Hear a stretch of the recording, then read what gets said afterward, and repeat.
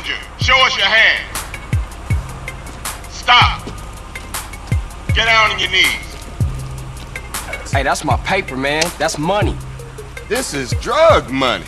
My money, man. Hey, don't worry about it. I'll fill it out later. Ah. Welcome home, Carl. Glad to be back.